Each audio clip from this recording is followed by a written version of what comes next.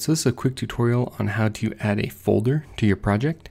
Here I have a file get contents folder, uh, this is my project, and it's going to be a demo that I'm going to do on how to use PHP's uh, file get contents function.